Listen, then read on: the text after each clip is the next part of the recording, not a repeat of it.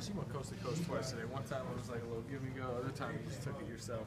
Is that something you've done Utah? Because we haven't seen it here. I haven't seen myself either. No, I'm, just, I'm just playing, man. I mean, uh, I have done it a couple times, but I think that, that, that was the first time like I went coast to coast and finished it. They say they say anything to you on the bench. Russ would sound like he was No, surprised. well, he, I think they, were- they, they were all surprised. And I was, I was surprised myself too. I didn't know I could do that. So. How about your jumper? Uh, you know, you haven't shot it, I don't think, as much as Uh-huh. in Utah. You haven't even shot a three yet. Wh- Where are you right now with your jumper? Do you not want to shoot it as much here? Well, it's the uh, it's it, it's my role. The they given me. Well, in Utah, I was playing more uh, like four, and I was you know uh, spacing out more, shooting threes. But now you know, coach wants me to you know be inside more, try to you know uh, play post up, getting those get those rebounds. So I'm just trying to do what co- coach tell me to do. You like that more? That inside game more than Sure, I mean I'm just I'm just a basketball player, so I'm just trying to do what what coach tell me to do. Why were you able to be so successful on the offensive glass tonight? I think you had nine offensive boards. I mean, I think yeah, I'm just only thing I want I wanted to do is just give uh, confidence to my teammates.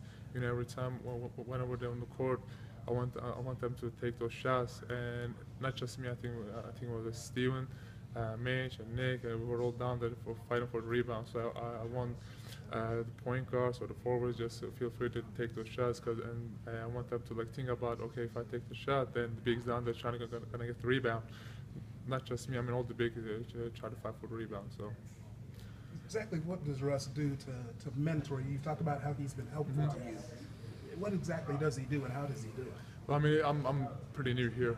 I mean, not just me or other three guys just new here. So I mean, he's just helping us with the, you know, on the court, off the court. He's trying to. I mean, he's the, leader of the, this team uh, right now, and he's just try, not just me trying to help uh, everybody on this team, and uh, we, we try to. He's trying to get everybody on the same page.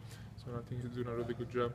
Why do you think you were able to fend them off throughout the, the whole second half? What do you mean? Why, why do you think you were able to kind of keep the lead uh, at a comfortable spot throughout the entire sec- second half? I think it was the defense, you know, because offense is there, so somebody's gonna score the ball because we have enough talent to score the ball. I mean, everybody obviously here can score the ball. I think the the key was the defense tonight, and I check, and I think we just uh, put our, uh, uh, give ourselves 100 percent on defense, and everyone, everyone just focus. anyone else? All right, thanks. Good, thank you, man. Appreciate it.